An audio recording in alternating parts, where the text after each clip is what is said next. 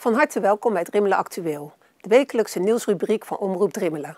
Iedere week brengen we u korte nieuwsflitsen van lopende activiteiten van en voor Drimmelen en omgeving. Op zondag 28 april kwam de Oude Haven in Drimmelen tot leven voor het eerste evenement van het nieuwe seizoen. Na grondige renovatie van de afgelopen twee jaar is het gebied de perfecte locatie geworden voor de Oude Havenfeesten en vele andere activiteiten. Het was een geslaagde dag en ondanks het matige weer waren er genoeg mensen om er samen een mooie dag van te kunnen maken. Afgelopen dinsdag 30 april kregen de eerste duurzame verplaatsbare woningen hun plek aan de Marktstraat in Terheide. De woningen zijn volledig in de fabriek gemaakt. In totaal gaat het om 16 duurzaam verplaatsbare sociale huurwoningen, die volledig uit hout zijn opgebouwd. Elke woning heeft twee slaapkamers en de woningen zijn zo goed als zelfvoorzienend wat energie betreft. De woningen zijn vooral bedoeld voor starters vanaf 23 jaar en woningzoekenden die met spoed op zoek zijn naar woonruimte. Alleenstaande en mensen uit de eigen gemeente krijgen voorrang bij de woningtoewijzing. Naar verwachting kunnen de nieuwe bewoners al in juli intrekken in deze bijzondere woningen. Donderdag 9 mei met hemelvaart gaan men in Terheide weer douwtrappen. Vind je het een leuk om erbij te zijn? Zorg dan dat je vroeg uit de veren bent. De douwtrappers vertrekken vanaf Café de Harmonie, rond de klok van 6 uur in de ochtend. Om 8 uur wordt er samen met de Anthony-zingers een dienst verzorgd. Op de terugweg naar de traaien stopt men vervolgens gebruik even bij het café voor een lekker biertje. Waarna de weg wordt vervolgd naar Café de Harmonie. Men verwacht daar te arriveren om 1 uur. Helaas moet de gemeente Drimmelen en Optisport aankondigen dat ondanks alle inspanningen het zwemseizoen in de rand doet en het puzzelbad pas kan starten op zaterdag 18 mei. De nodige herstelwerkzaamheden aan de baden, glijbanen en spreiparken zijn door al het slechte weer de afgelopen periode uitgelopen.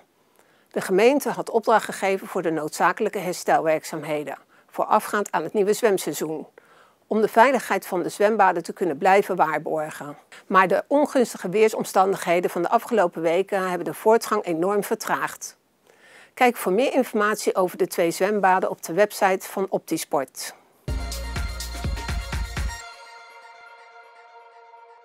Op vrijdagavond 28 juni vindt er aan de vernielde haven in Terheide een concert plaats.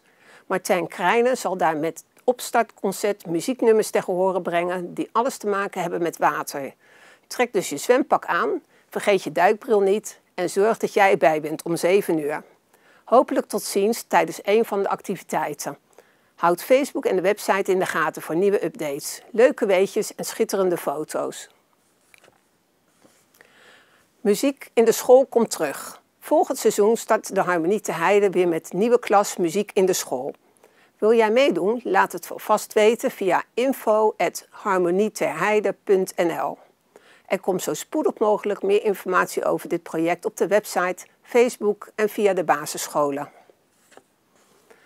Er glooit hoop voor de dorpshuizen in de gemeente Drimmelen. Met name in Wagenberg en Hoge Zwaluwen zijn flinke stappen gezet om de gemeenschapshuizen te laten voortbestaan. In Lage Zwaluwen is het nog afwachten hoe het daar verder gaat. In Wagenberg is de oplossing in zicht. Een werkgroep van dorpsraad heeft een plan gemaakt om plekzat over te nemen. Er is een intentieverklaring gesloten om de plannen verder uit te werken.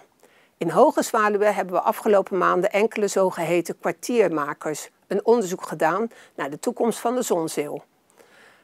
Er zijn inmiddels vijf geïnteresseerde partijen om de exploitatie van het dorpshuis over te gaan nemen.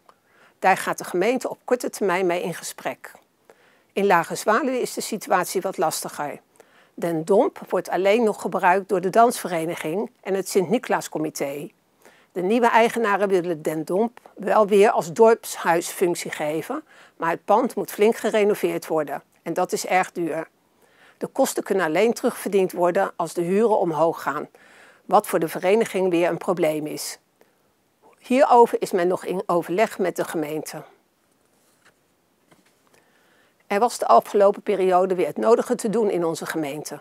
Natuurlijk was Omroep Drimmelen daarbij in de buurt. Wilt u met ons meekijken? Blijf dan vooral ingeschakeld op, ons kanaal.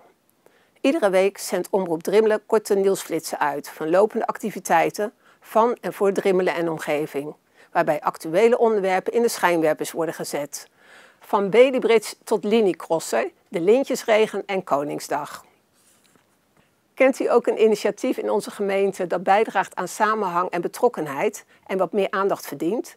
Laat het ons weten via een mail aan publicatie Omroep Drimmelen.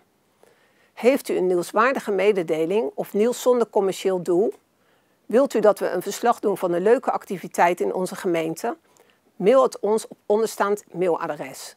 U kunt ons ook volgen op de sociale media van Omroep Drimmelen. Graag zien we u volgende week weer terug bij Drimmelen Actueel. Tot dan.